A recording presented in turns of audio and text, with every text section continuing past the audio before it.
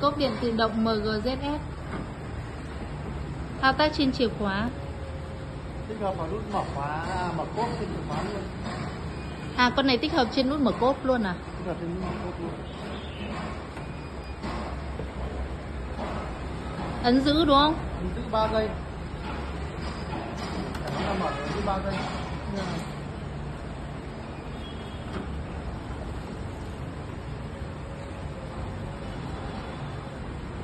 Cảm biến chống kẹt nè.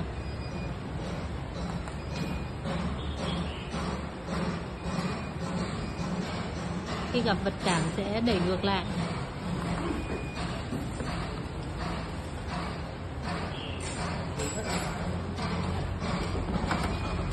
Tốt và rất khít. Ở phía trên này có một cái nút nút ấn ở trên tắp lô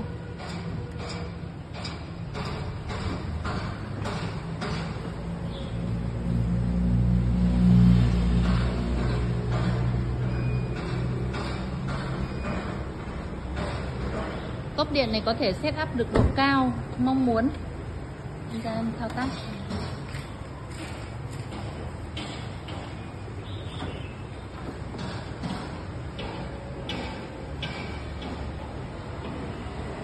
vị trí vị trí này vị trí là khách setup bây giờ mình có thể setup một là cái cốp cao cao lên hẳn kia trên này đây là vị trí cao nhất của cốp mình muốn setup cốp uh, theo vị trí của mình giữ ấm này khi là cốp nó dừng lại vị trí mà mình mong muốn nhất, thì mình sẽ ấn dừng lại.